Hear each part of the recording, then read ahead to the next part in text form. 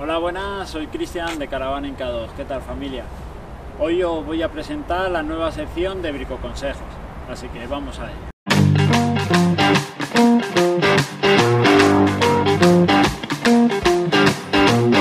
Os voy a presentar seis puntos a tener en cuenta para nuestras autocaravanas cuando las dejamos paradas en invierno.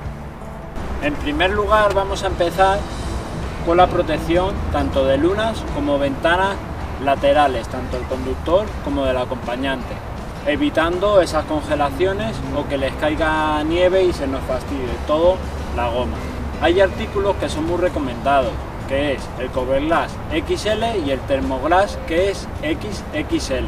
La diferencia de ambos son que el XL solo nos protegería lo que es luna delantera y laterales y el Thermoglass XXL nos protege capón, faros, frontal y ruedas delanteras. También hay un brico consejo que yo lo recomiendo, que simplemente con un corcho lo cortamos más o menos en esta medida, lo cortamos por aquí y simplemente lo colocamos de esta forma. Con esto evitamos que nuestro limpiaparabrisas se queden pegados con las heladas y el frío y la nieve y la durabilidad es mayor. Bueno, continuamos con el segundo paso a tener en cuenta, que sería la presión de los neumáticos. ¿Por qué esa presión? Porque si dejamos nuestro vehículo mucho tiempo parado nos puede coger deformidades. Entonces tenemos que llevarle a la presión justa. ¿Dónde nos indican la presión en nuestros vehículos? Tenemos una pegatina que nos indica tanto ruedas delanteras como ruedas traseras. Vamos a tener hincapié en las ruedas delanteras, debido a que son las ruedas motrices y si cogen deformidad por tenerla mucho tiempo parada, como habíamos comentado, a la hora de la conducción lo vamos a notar en el volante, con vibraciones, ruidos extraños. ¿Cómo podemos evitarlo? Tenemos unos calzos que son muy prácticos para ello, para que son cazos anti deformaciones. ¿Vale? Vamos a proceder a subir en ello.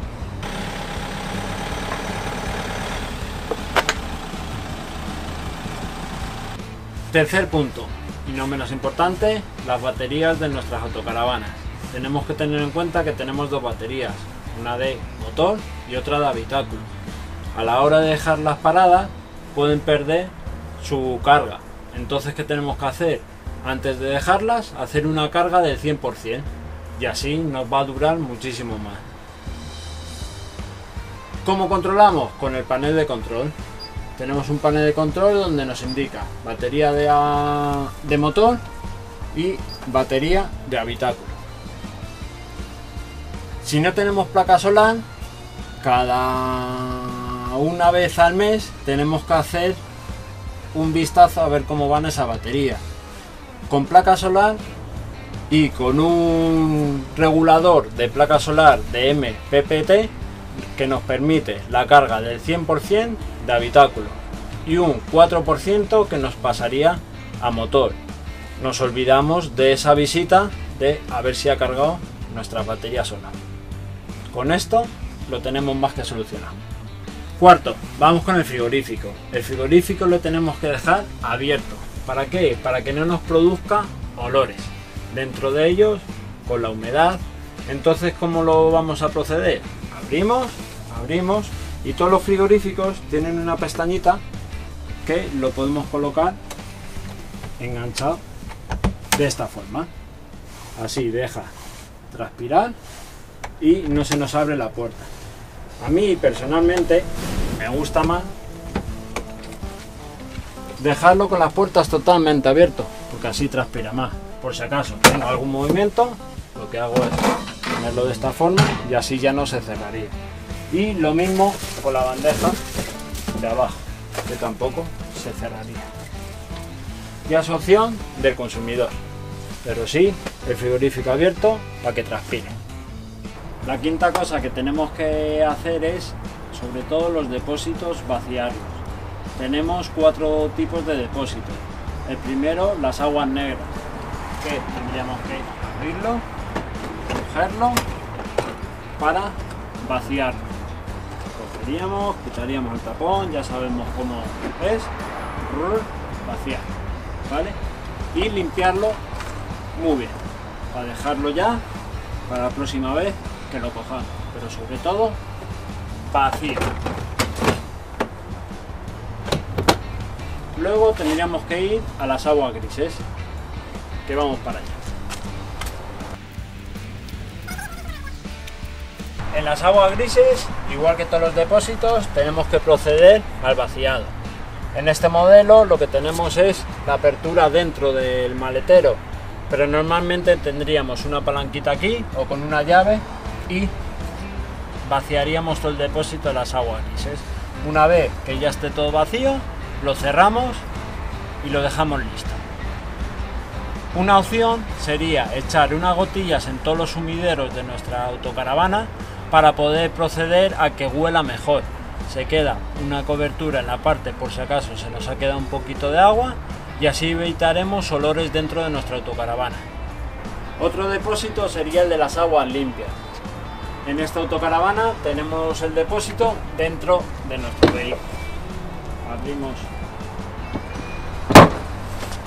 nuestro portón y lo tenemos enfocado aquí. Me meto por aquí. Nos indica con una pegatina que si lo abrimos solo un cuarto se nos va a vaciar hasta 20 litros que se nos van a quedar en nuestro depósito. Para dejarnos nosotros en invierno tendríamos que girarlo completamente para que se vacíe al cero y así evitaremos que se congele nuestro depósito. La llave de vaciado la tenemos en esta parte de aquí, la negrita, que según vamos girando se nos va vaciando y cayendo todo hacia abajo. Para cerrarlo, una vez que hemos terminado, giramos del todo y hasta que nos haga el tope. El otro depósito que nos queda es el depósito del boiler. El boiler es donde guardamos el agua caliente tenemos 10 litros de agua acumuladas en el boiler.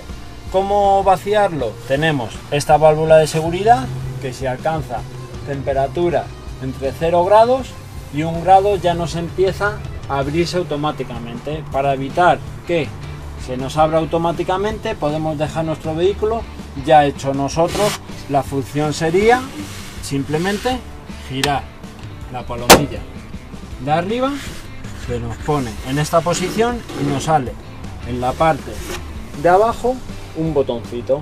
De esa forma vaciaríamos los 10 litros del boiler. Sexto y último. Hay que dejar nuestras ventanas y comprobar que estén bien cerradas.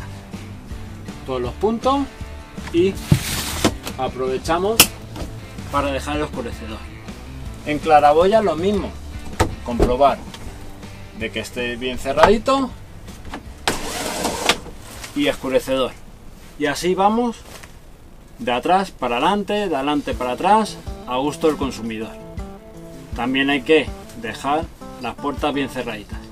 Bueno familia, espero que os haya gustado mi brico consejo. Si es así, dedito arriba, síguenos en redes sociales y no os olvidéis en suscribiros.